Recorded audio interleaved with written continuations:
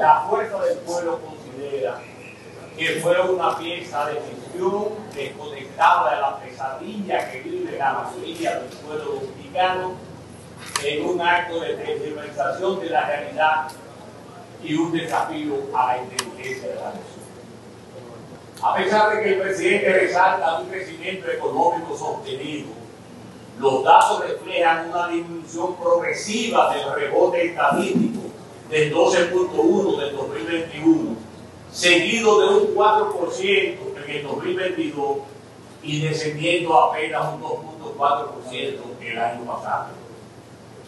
Esta última cifra del 2004, del, año pasado de 2.4, que el presidente no mencionó, parece que ha avergonzado,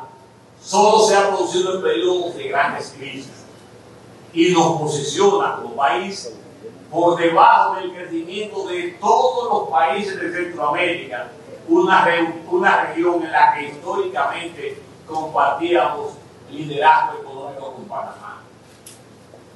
El presidente mencionó un aumento de las reservas internacionales, sin reconocer que esto es un resultado directo del incremento del endeudamiento externo, que ha superado los 26 mil millones de dólares en los últimos tres años, marcando al actual gobierno como el que más se ha endeudado desde la fundación de la República. El presidente nos quiso vender su lucha contra la corrupción,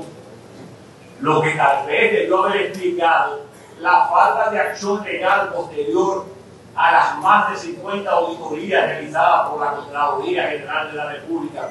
con irregularidades y a los más de 20 funcionarios destituidos, las cuales